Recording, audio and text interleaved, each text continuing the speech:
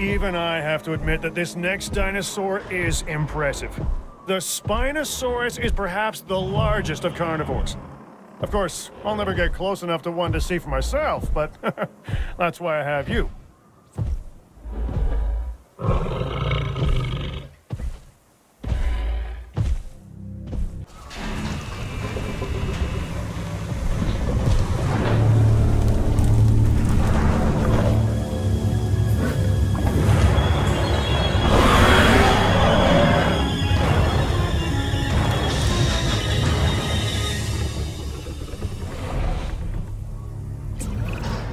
I'm Dr. Henry Wu. I'm a scientist. Some might call me an artist, a sculptor.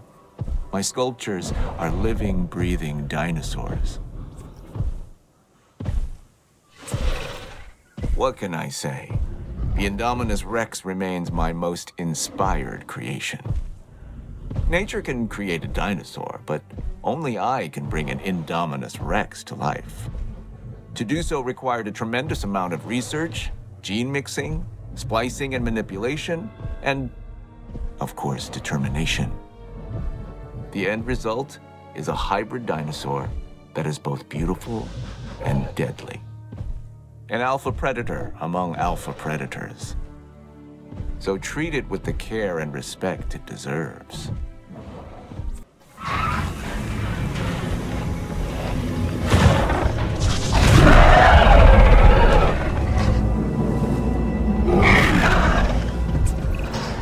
I'm Dr. Henry Wu.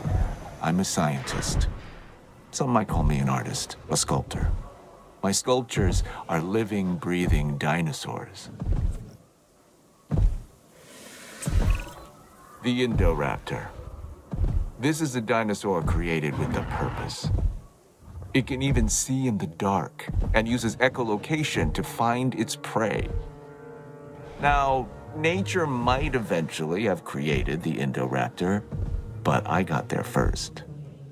Is it dangerous? Yes. But then so is science.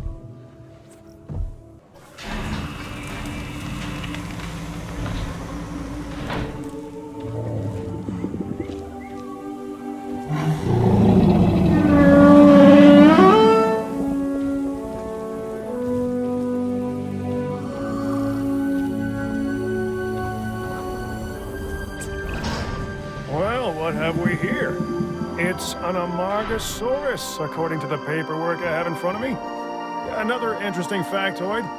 Its long neck meant it probably liked to feed on the taller branches of trees and such. At least that's what it says. Guess we'll find out, huh?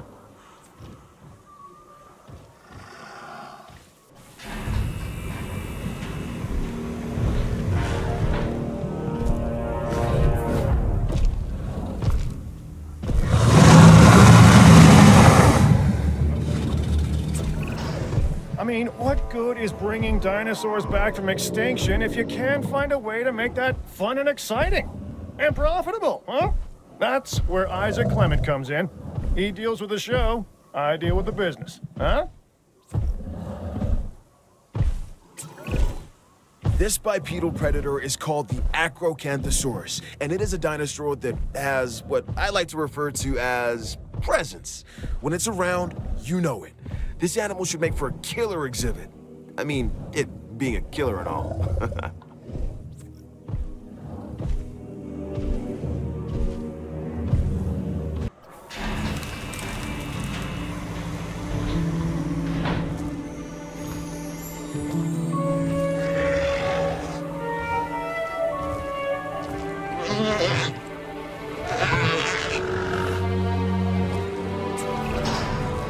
this dinosaur, the Dracorex, is something strange. Its name means the Dragon King of a fictional school for wizards. I think I could have come up with that myself. The name, not the dinosaur. For that, we need the scientists.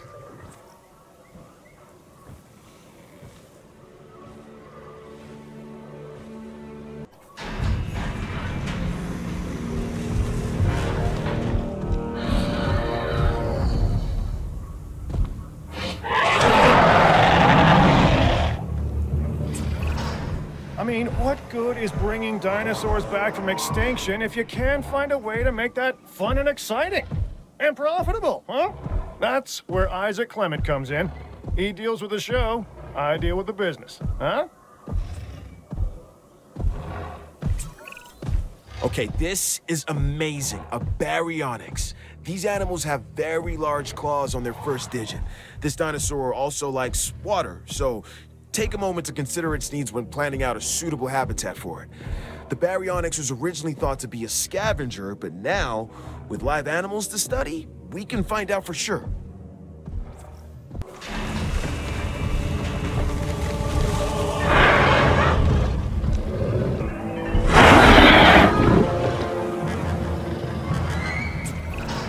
My name is George Lambert. Now, you'd think that dealing with prehistoric animals would be a problem. And you'd be right, as you probably discovered. But it's the unpredictability that really keeps us on our toes. Sure, the scientists can bring dinosaurs back, but fences keep them in. And without them, the fences, I mean, none of this is possible. This is a Cryolophosaurus, one of the more colorful members of the collection. It's a carnivore, so take the necessary precautions and don't let its looks deceive you.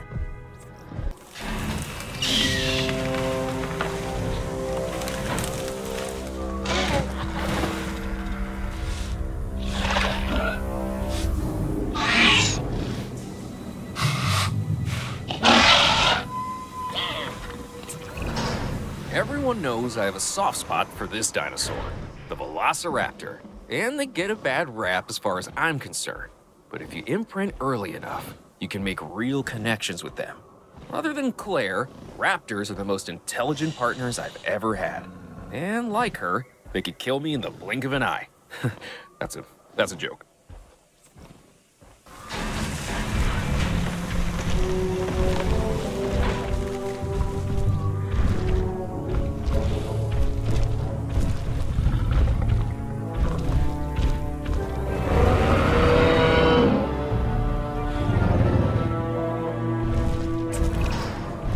Can be said about the Triceratops?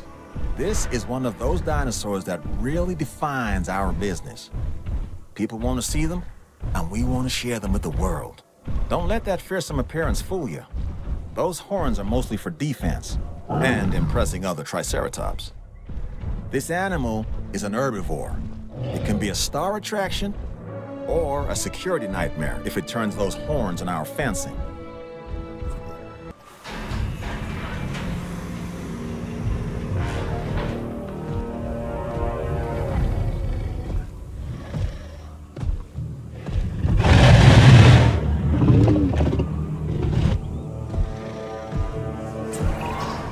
Qianzhousaurus. Neat.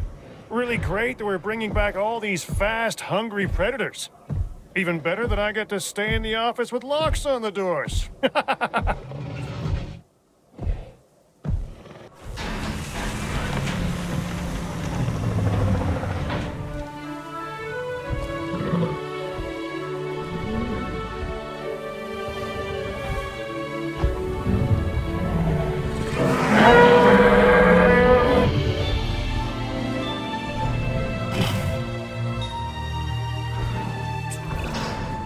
so this next dinosaur, the Parasaurolophus, has a flair for the dramatic, especially where its head is concerned. It has a distinctive cranial crest, which is used for added resonance in its vocalizations and to regulate its body temperature.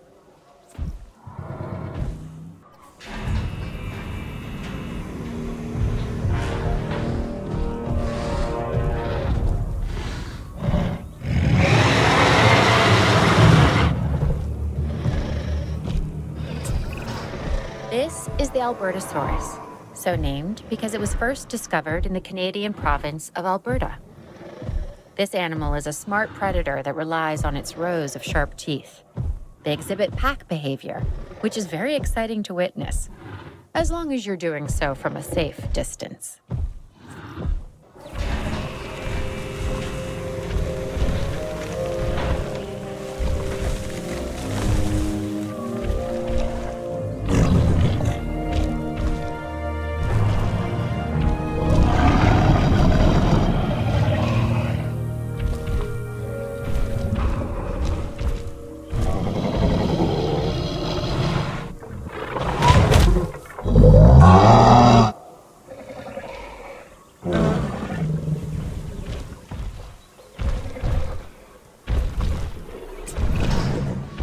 This the Ankylosaurus.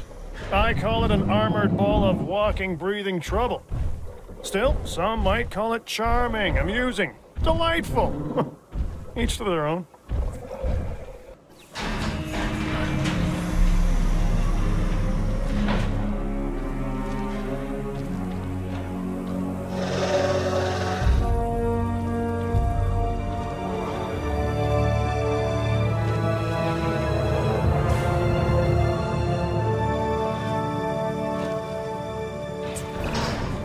First discovered in China, the Chungkingosaurus has distinctive twin plates that run along its back.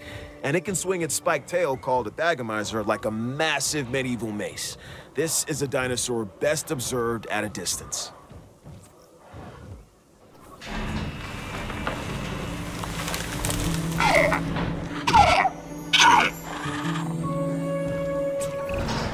There was a lot of controversy about dinosaurs being the ancestors of modern-day birds before this one was introduced into the park. It's an Archaeornithomimus. I think it puts some of those arguments to rest.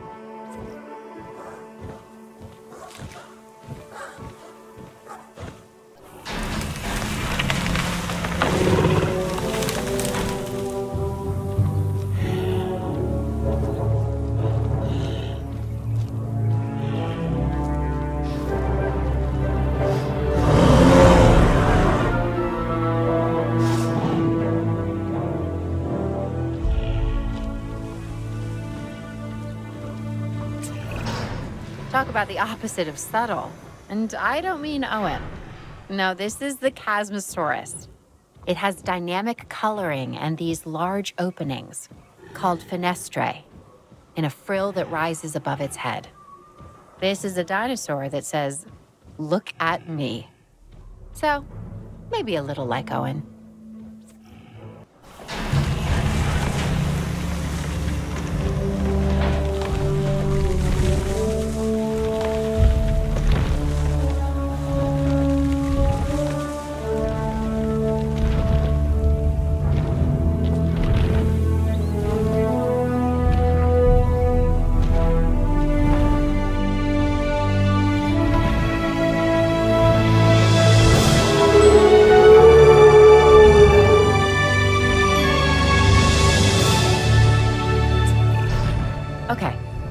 Have here is a Brachiosaurus.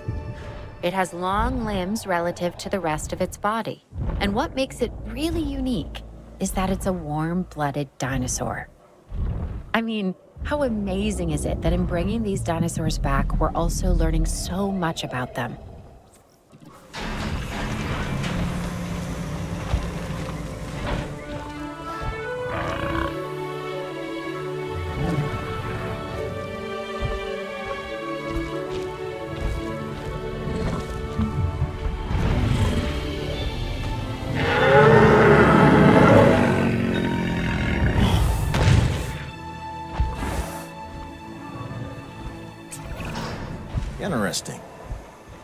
An This is an herbivore that can move on all four feet or go upright and walk on its hindquarters.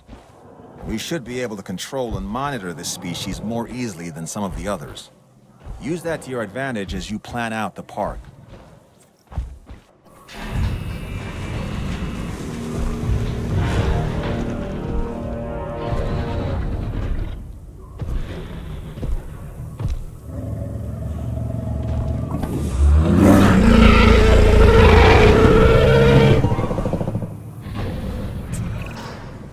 Stay with me.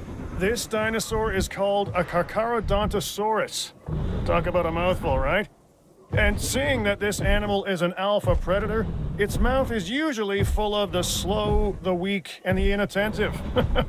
Hence the reason I'm not getting near it. You, on the other hand,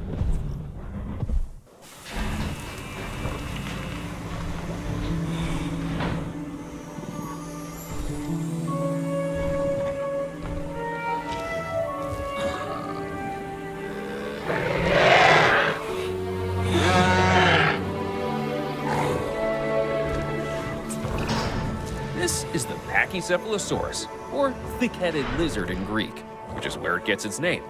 Claire has accused me of being this dinosaur more than a few times. It's also an herbivore, so obviously she couldn't be more wrong. About me, I mean.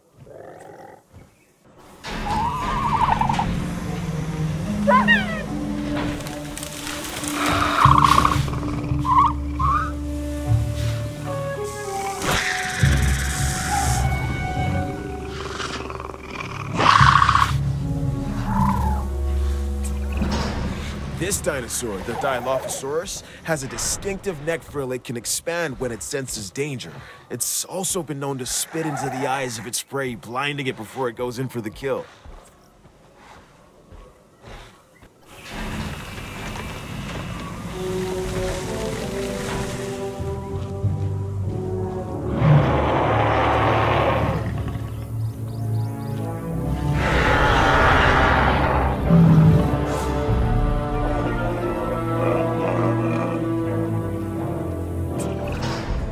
Say fences make good neighbors.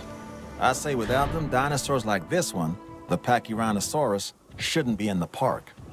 This animal is built like a tank, and it has the personality to match.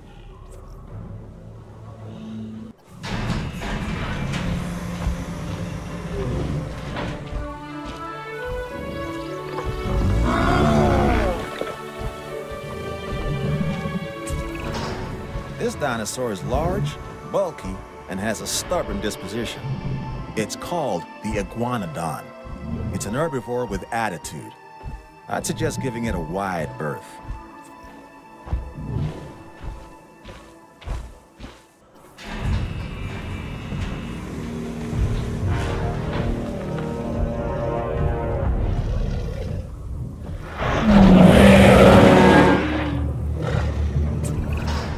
It's dinosaurs like this, the Majungasaurus, that can really be a handful. It's short, stocky, and lives for the hunt. This is also one of the only dinosaurs we know of that may have engaged in cannibalistic behavior. Nothing like having your friends over for dinner.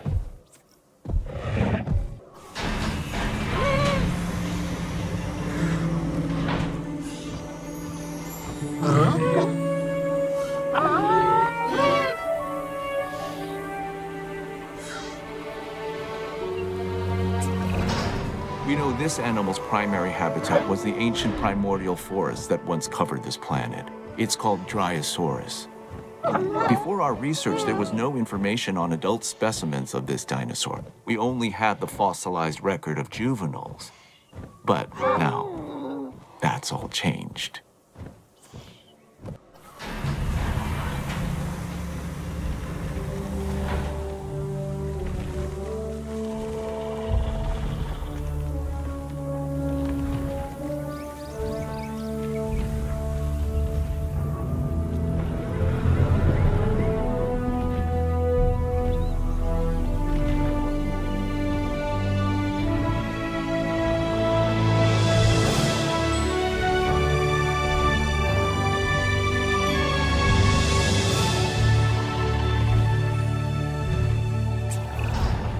This massive specimen is called the Apatosaurus. An impressive animal that can intimidate even the most determined of predators. The Apatosaurus's evolutionary advantages are its size and its demeanor.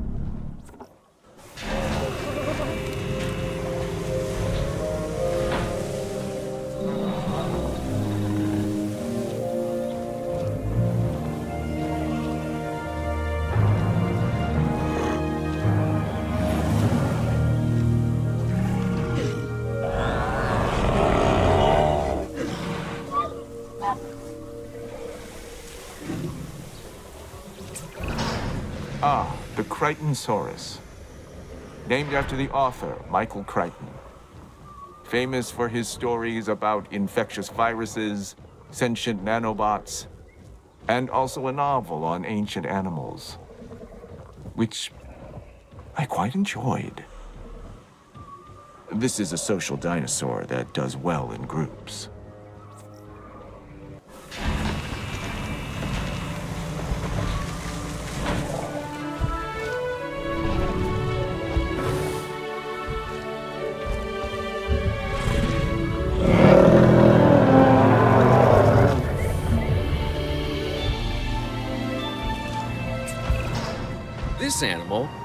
Maiasaura, is known as the Good Mother reptile because its fossils were first discovered in a nesting colony. And really, who doesn't love a good mother?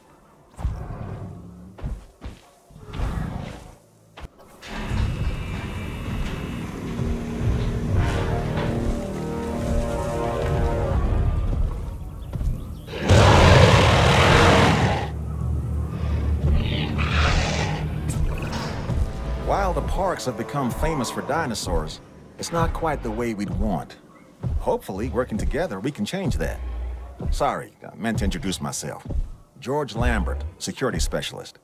Our challenges are many, so let's not waste any time. This dinosaur has a skull similar to a crocodile's, and a disposition that isn't that far off either. The Suchomimus originally fed on fish and small prey. Let's make sure it doesn't expand its diet into two-legged animals wearing collector t-shirts.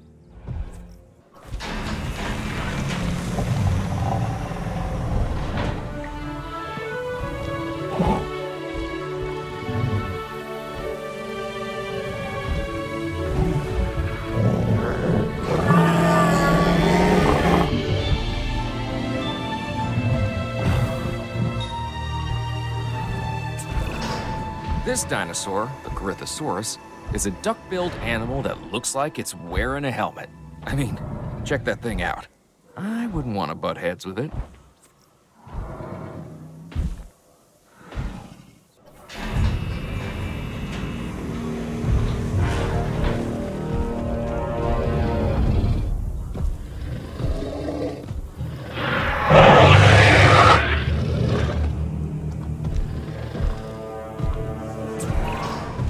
This dinosaur is something special.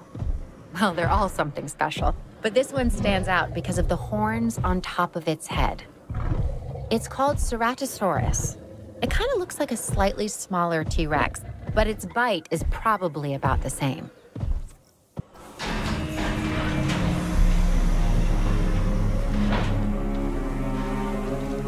The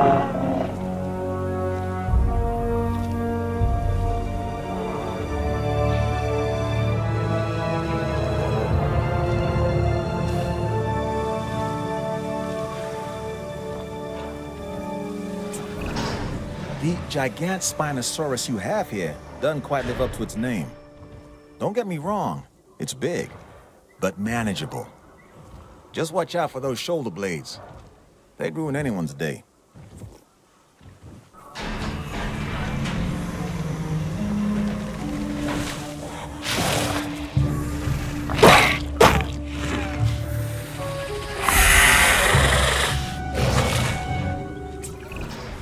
Now, what we have here is a Herrerasaurus.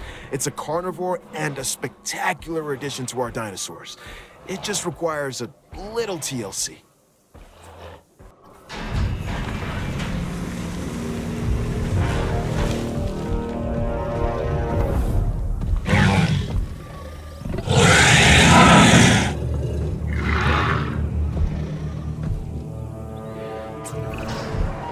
Introduce you to the Metriacanthosaurus. Say that fast three times. This is another alpha predator that, while not as big as some of its cousins, tends to stand more upright. So I guess it has good posture while it's tearing you to shreds.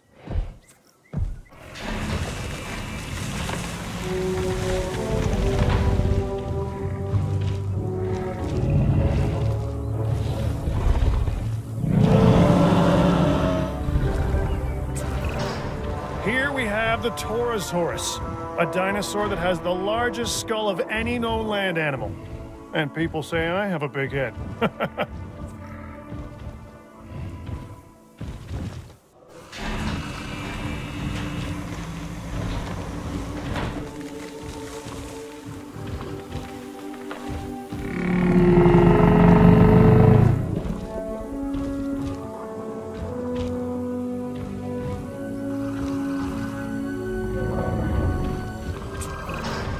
This sauropod, the Nigersaurus, was originally discovered in fossilized form in the Republic of Niger, hence the name.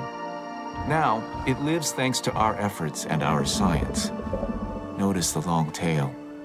the flat skull. However, this dinosaur is smaller than some of its cousins. Now that we have them to study, perhaps we can learn why.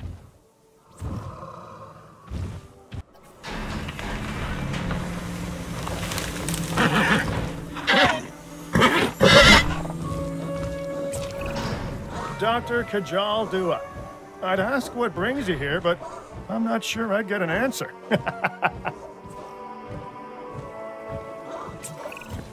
Some of these animals present a real test of our abilities.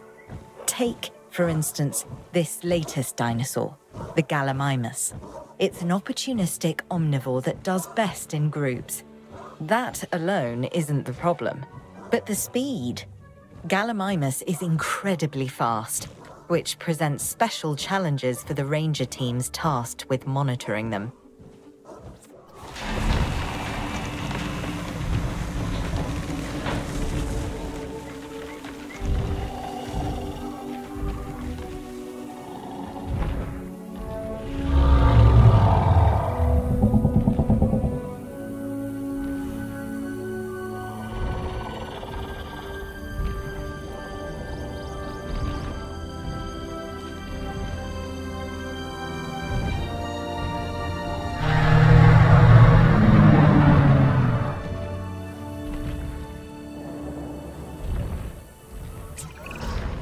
I'm Dr. Kajal Dua. And while you're keeping an eye on the dinosaurs, I'll be keeping an eye on you. Known as the chambered lizard, the Camarasaurus impresses with both its size and its blunt snout. It prefers to live in groups, a challenge, but one I'm confident you can handle.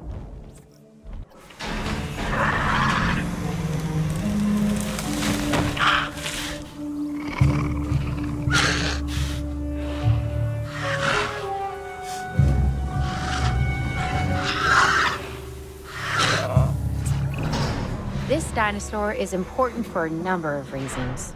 I mean, they're all important, but this one, the Deinonychus, was the center of debate among paleontologists for many years.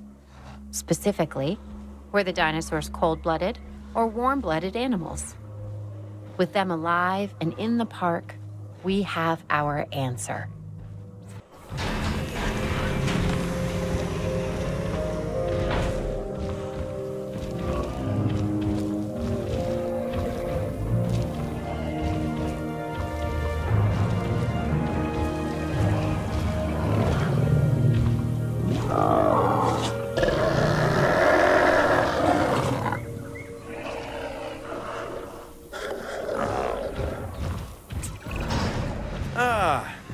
Is a Euoplocephalus, an herbivore and relatively harmless dinosaur, as long as you stay out of the way of the heavy club on its tail. If it swings that your way, you could be relatively finished.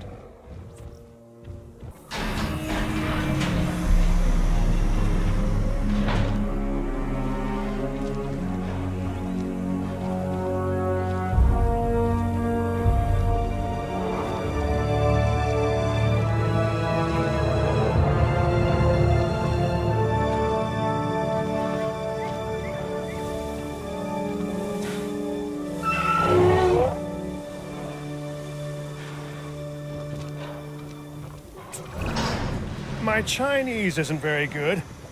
Okay, I don't speak it at all, but let me give this one a try. Huayangosaurus. Nailed it, I think. Anywho, this is a type of stegosaur that was first discovered in the Sichuan province of China. It's a popular species with our guests and with crossword puzzle creators.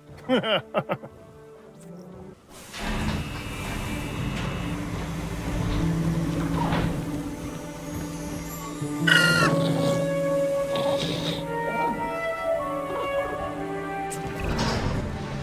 flat-headed dinosaur, the Homalocephale, can appear unassuming and perhaps even cute to some.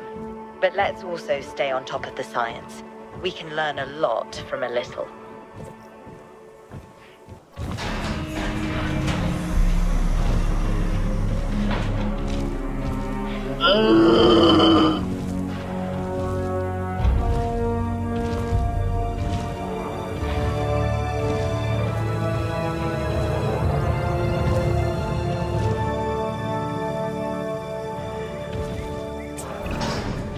Kentrosaurus is another of those spiky-backed dinosaurs. A dinosaur that relied on intimidation to keep the predators at bay. And failing that, a difficult meal to catch and chew. Think of it as a prehistoric porcupine.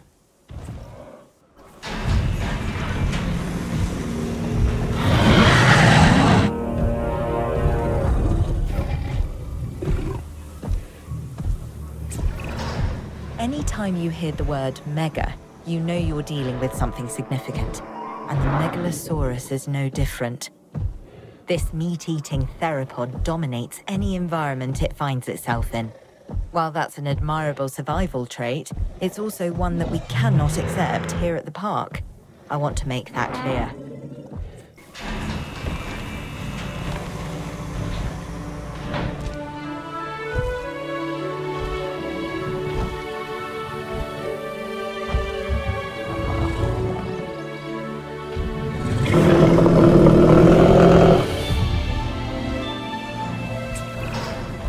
Is possible for a dinosaur to be both elegant and awkward at the same time, then the Muttaburrasaurus takes the prize. This is a large herbivore that should make for an excellent addition to our collection.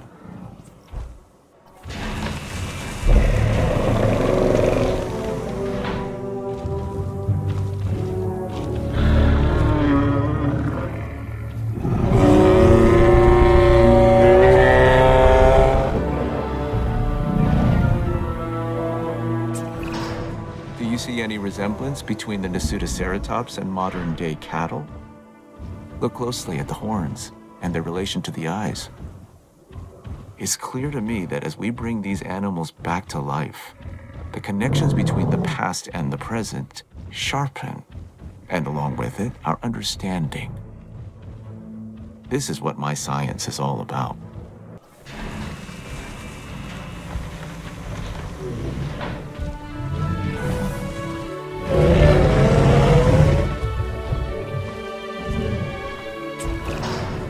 This one's more my speed.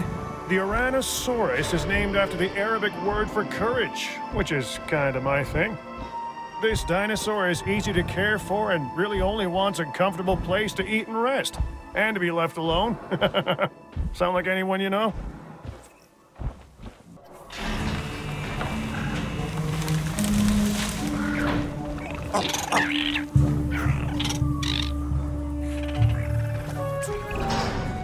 You successfully introduced a new dinosaur, a Proceratosaurus. This animal is instantly recognizable by the colorful crest on its snout.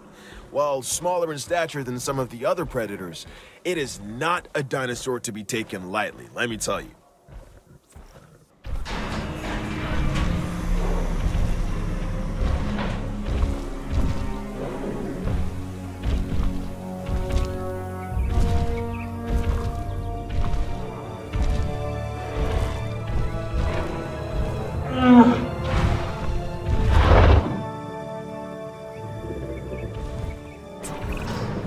Before I got into the paleo curation game, even I knew of the Stegosaurus.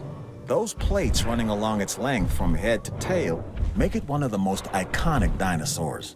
Our guests are gonna want to see it, so make sure you do right by this animal.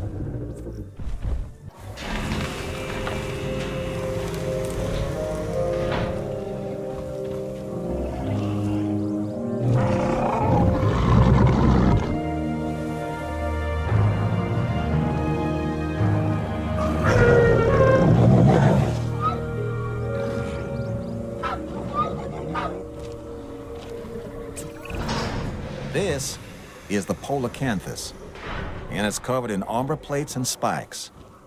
Mess with this animal at your own risk.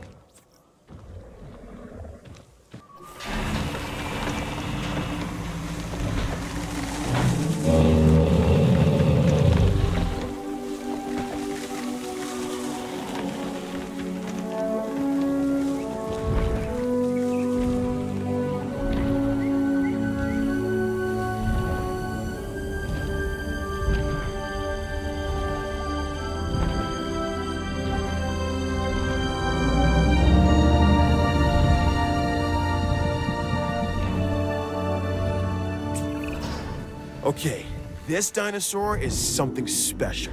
Seriously, look at the size of this thing. It's called the Mamenchisaurus. This thing is one of the largest animals to ever walk the Earth. And now, thanks to the wonders of genetic engineering, it's doing just that again.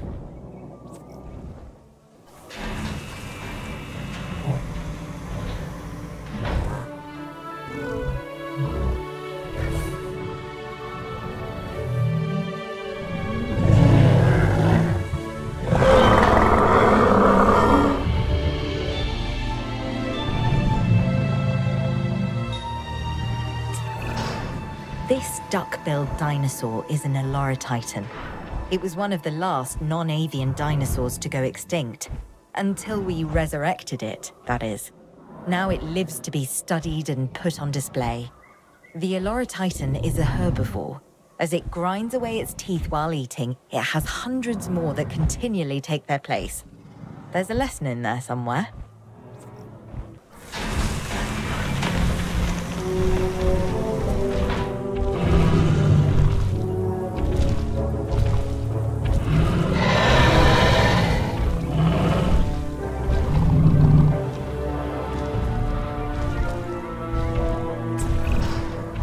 The Pentaceratops here, it has five horns. One on the nose, two on the brows, and two extending out from its jugular bones. It seems excessive, but maybe it's necessary.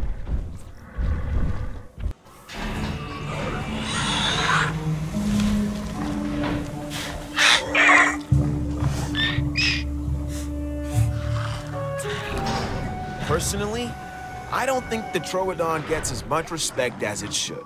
It's one of those dinosaurs that seems like an evolutionary bridge, stuck in time and transition. The platypus of its day. And now, ours.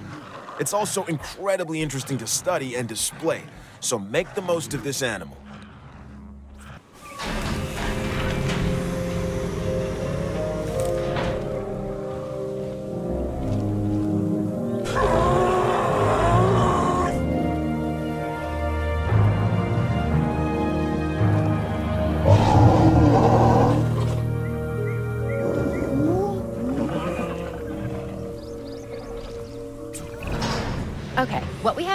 Is a Nodosaurus.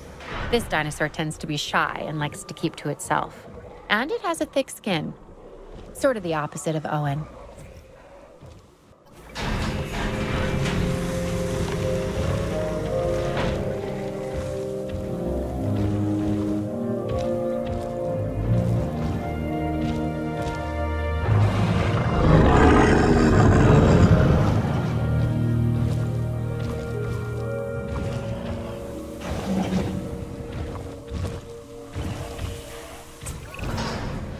In a dinosaur with an extremely long tail? Then this dinosaur is for you. It's called the Sauropelta. Covered in bony armor, it has long spines projecting from its neck. All that being said, it is a relatively calm animal when placed in the right environment.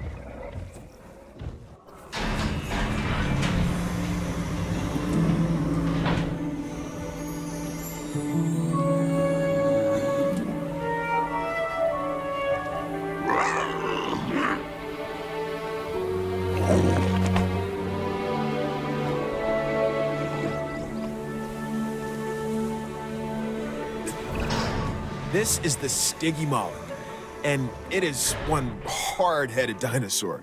It has an armored dome crowned by horns. Despite this, it's a social and relatively docile animal, unless threatened. Then steer well clear of it. This dinosaur can do a number on its enclosures and bash its way through any number of obstacles. Take that into consideration when you're planning its environment.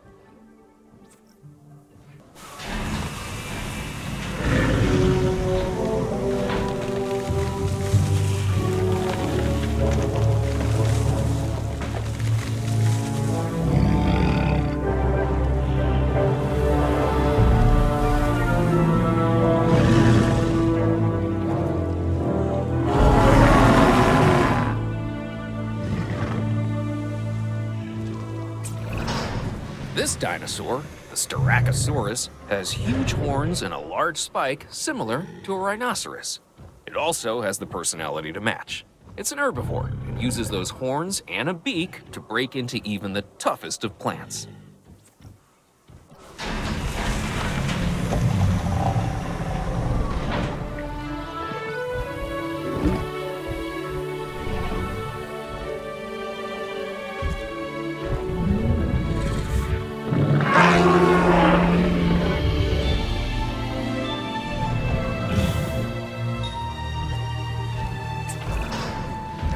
Now, here's a funny little dinosaur. Correction, a pretty decent-sized one, if the truth be told. It's called a Centausaurus. The T is silent, like the P in swimming. and it has a mohawk. At least, that's what I'd call it.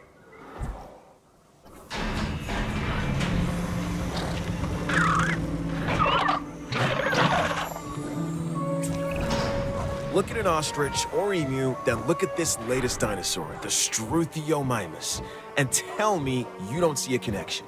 This is one of the more bird-like dinosaurs that we've brought back from extinction. It literally has a beak instead of teeth. It's an herbivore that prefers to move in herds. Overall, a fantastic addition to the park.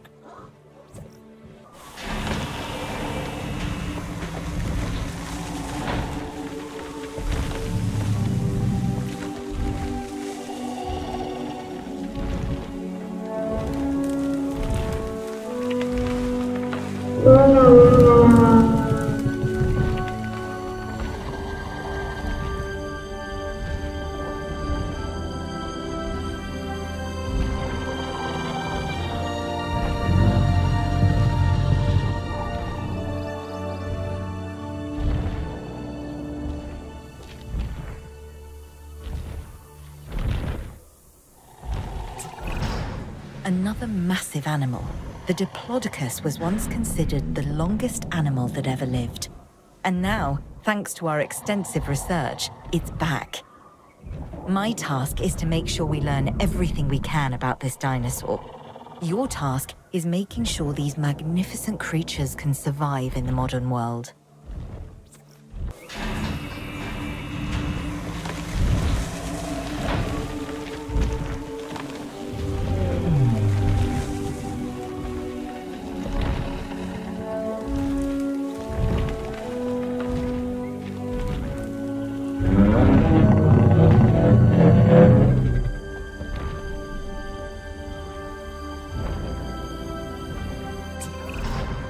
This animal, though an herbivore, can intimidate most predators with its size. It's a biggie named Dreadnoughtus. I'd give this dinosaur a wide berth.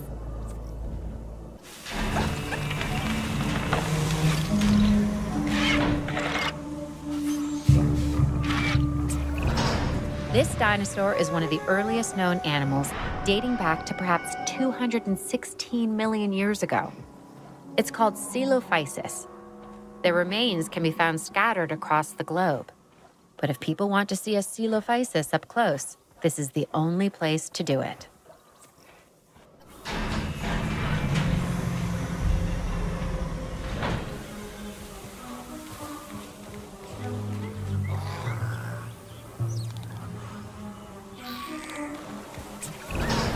The Compsognathus is a small predator, but don't let its stature fool you.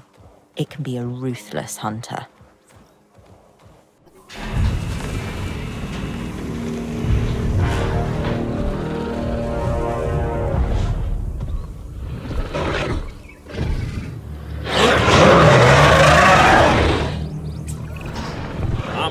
Specialist in dinosaur behavior.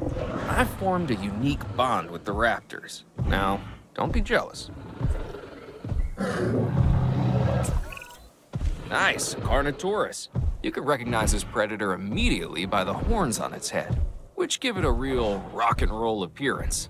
Those powerful legs can get this dinosaur moving as well, so probably best to stay out of its way. This dinosaur is so metal.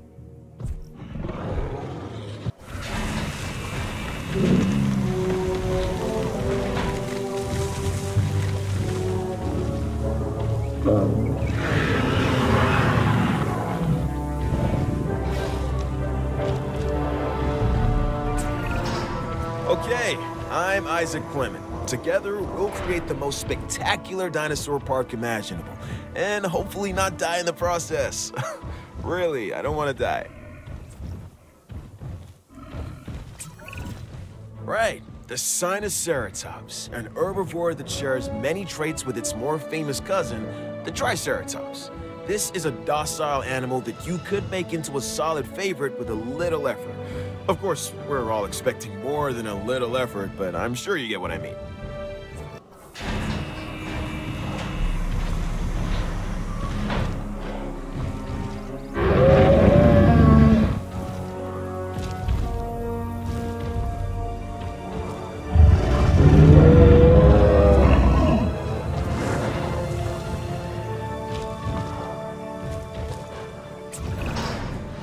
Spend too much time looking at those plates.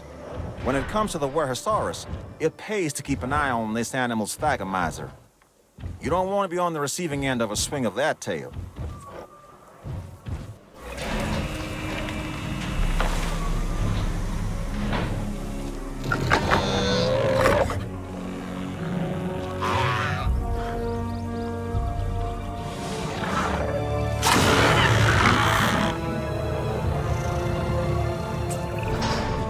Minmi is a relatively small, armored herbivore from Cretaceous Australia. What sets this species apart from other members of its family are the horizontally orientated plates that run along the sides of its backbone. Hence the binomial name, Minmi paravertebra.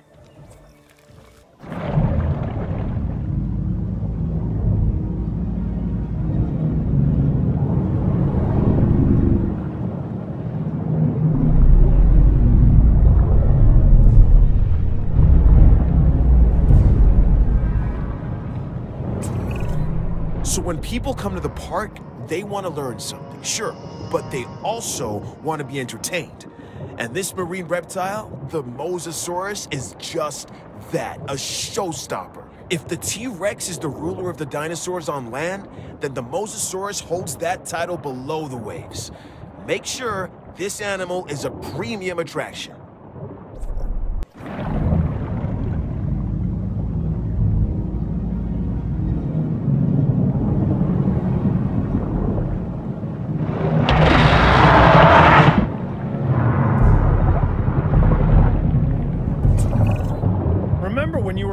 And they told you not to eat, then go in the water? But with this predator, the Tylosaurus, if you go in the water, you're gonna get eaten.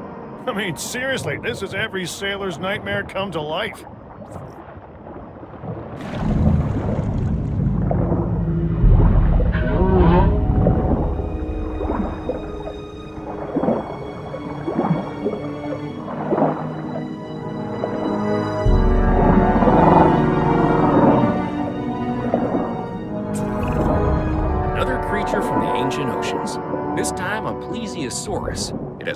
Body, an elongated tail, and four powerful flippers that help it glide through the water.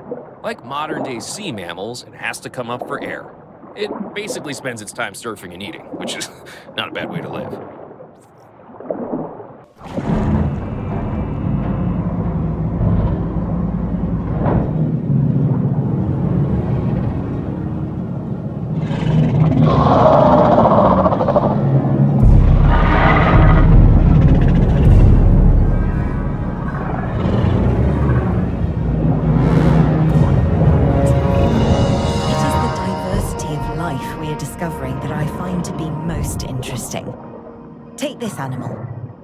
The for instance. This is a carnivorous marine reptile that is optimized for efficiency, both for swimming effortlessly through the water and for relentlessly hunting its prey. And what nature created, we can recreate. And maybe, if I can be so bold, improve upon or at least find ways to exploit.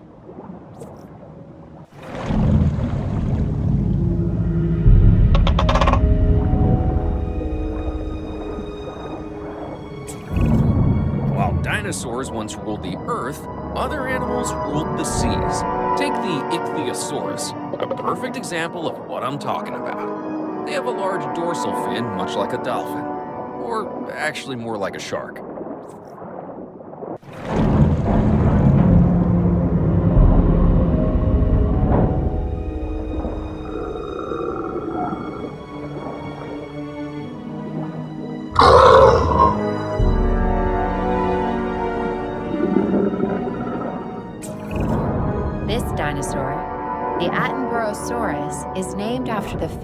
Naturalist and documentarian David Attenborough. I guess you could say dinosaurs run in his family.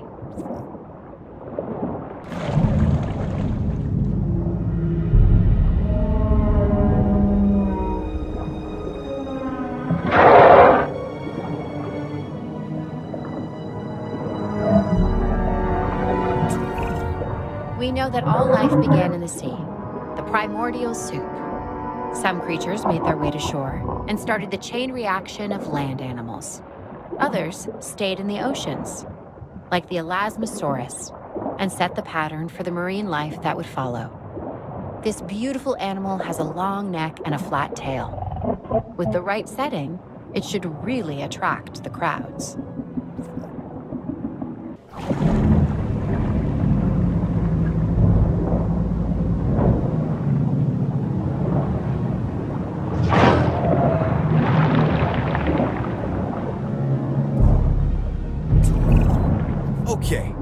We have the Kronosaurus, a predator that once ruled the seas of Colombia and Australia. Now get this. The marine reptile was named after the titan Kronos, a legendary ruler of Greek mythology's golden age. Pretty cool, right?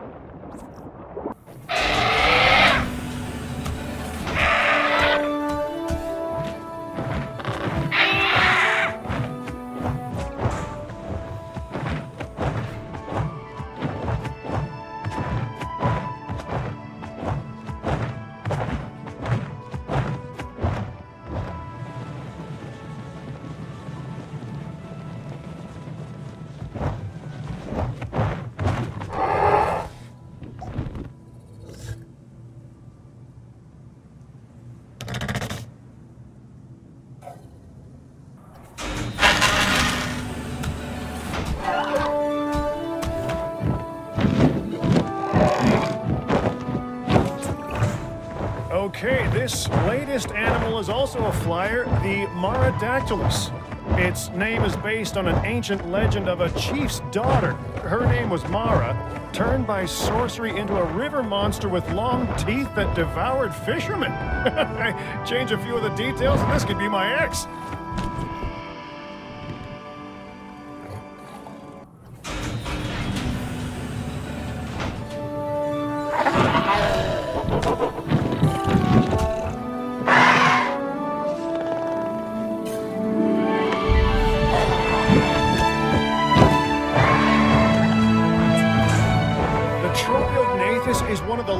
Pterosaurs and is known for its keel-tipped snout. In the aviary, should make for one heck of a draw.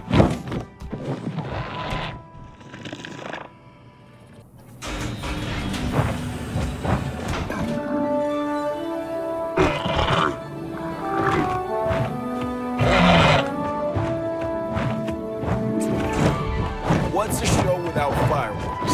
That's what this next animal gives us. Aerial color and excitement. Check out that sail behind its head. Spectacular. Oh, I, I meant to say that this is a Tapejara, one of our more interesting flying species. If you couldn't have guessed by now, I'm a fan. I think you should be too.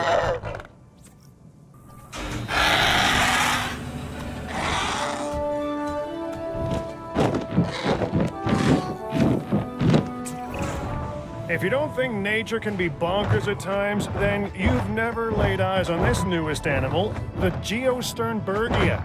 However, it is apparently graceful in the air. Not that I would know, but isn't that your job?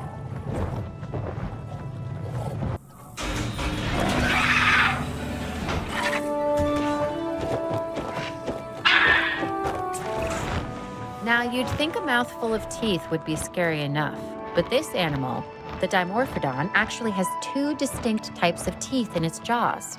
And it flies. Well, more accurately, glides.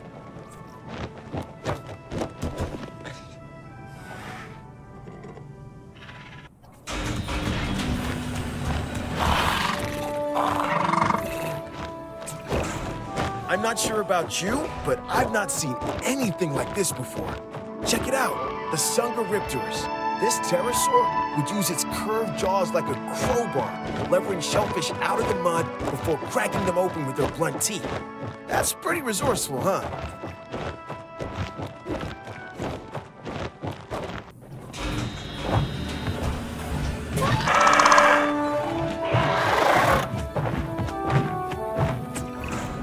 Honestly, the flying animals concern me the most from a security standpoint. We can round up escaped land animals, but when they take to the sky, all bets are off. This is the Sayarodactylus, and we need to make sure it stays confined to the aviary.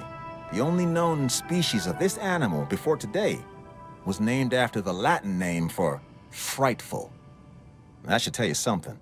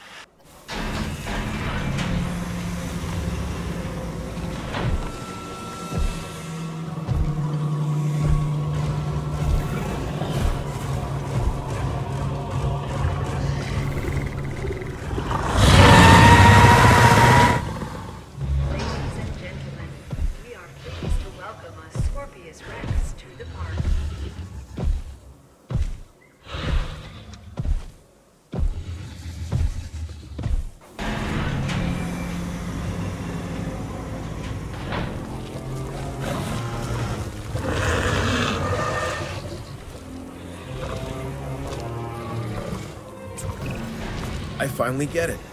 I finally understand why people have a fear of the dark. Once you peer into the shadows and see a pair of Dimetrodon eyes staring back at you, well, you'll be having nightmares for years. That's if you're lucky enough to walk away, because believe me, not everybody is.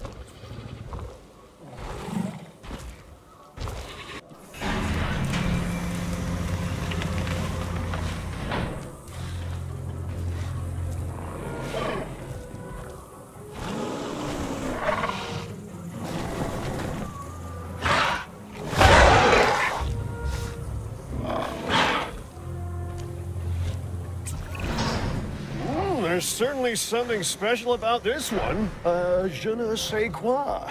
It's a Pyroraptor. Had it not been for a forest fire sweeping through southern France, our little feathered friend here may have gone undiscovered. And my life insurance would be just that little bit cheaper.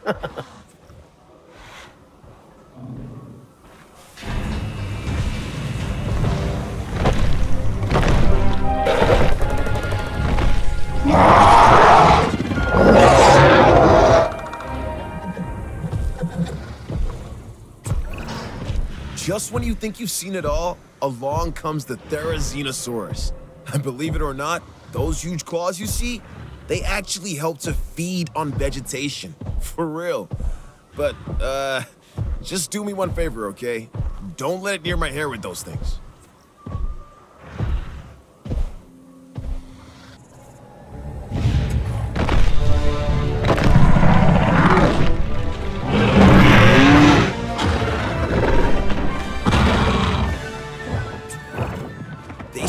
Everything is bigger in Texas, and that certainly applies to their fossil finds. This towering pterosaur is definitely one for the record books. We're talking about one of the largest flying animals, like, ever. It's not a bird, and it's not a plane. It's a Quetzalcoatlus.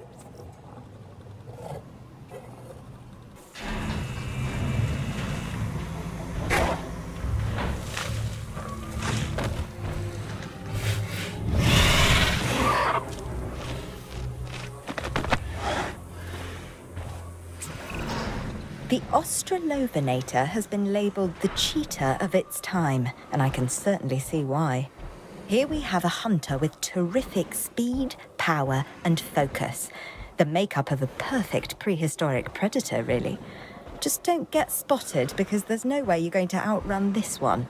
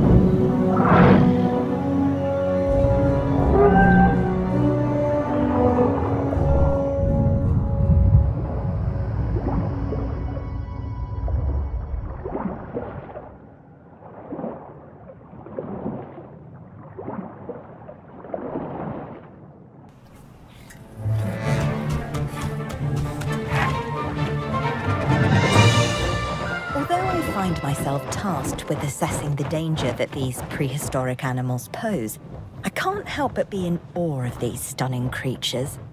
The Barbaridactylus, for instance, casts a striking shadow thanks to its boomerang-shaped wingspan. Let's just keep them safely contained, okay? I'm not sure I'd trust them to come back of their own accord.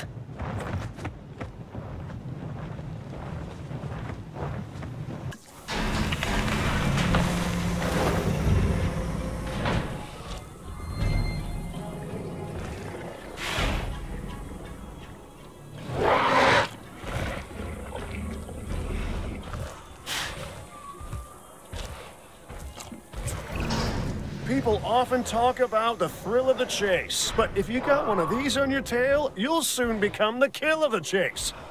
This right here is the Atrociraptor, a truly tenacious hunter, and it is simply relentless.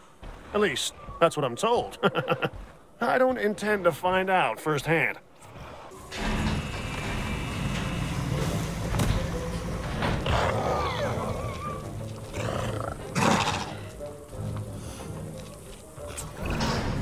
Science is everything. It brought the dinosaurs back from beyond the brink, and it is keeping them here now. I hope you understand how vitally important this is. Oh, I haven't introduced myself. Dr. Kajal Dua. You need to be as passionate about our work as I am. I'll accept no less. I'm a fairly trusting individual, but if you were to tell me that you'd seen anything like this before, I'm not sure I'd believe you. This tusked therapsid is Lystrosaurus. Astonishingly, this species managed to survive the Permian Triassic extinction and went on to thrive as the dinosaurs began to populate the Earth. Here's hoping it can enjoy a long tenure this time around, too.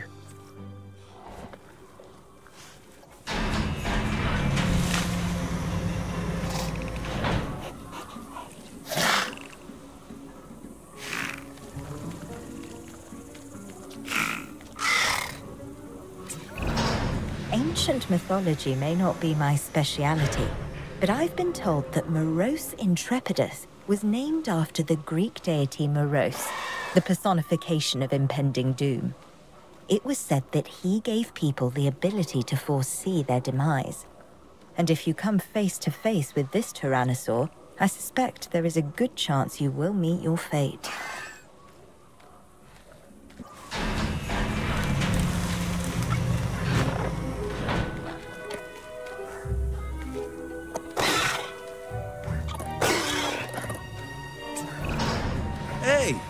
I've heard a lot about you, so here's a little about me. I'm Isaac Clement, but just call me Isaac, no need for formalities. Besides, in the park, we've got to watch each other's backs. Now, people think we're in the dinosaur game, but the truth is, we're entertainers. And our headliners traveled 65 million years to make the show. So let's make it a good one. If you ask me, I think this animal gets a bad rap. Back when fossils were all scientists had to go on, this Mongolian dune dweller was branded an egg thief. But you know what? It was really just looking out for its own. So as far as I'm concerned, the Oviraptor is all right in my books.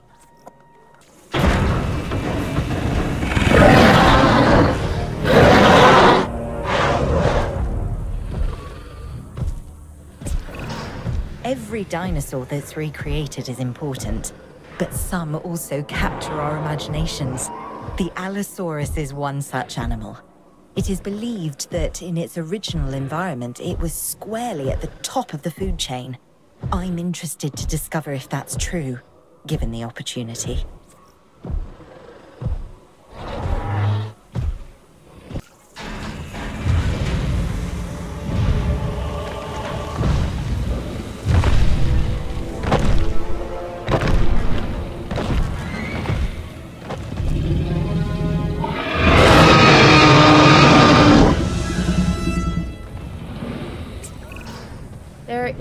More iconic dinosaur than the T Rex. Even people who don't know the difference between herbivore and carnivore know all about the Tyrannosaurus Rex.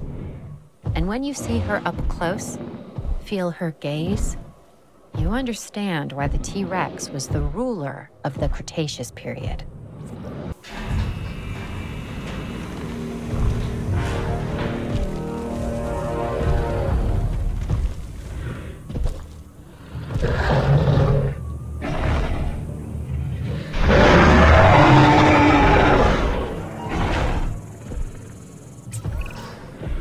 Often confuse this animal, the Giganotosaurus, with the T Rex.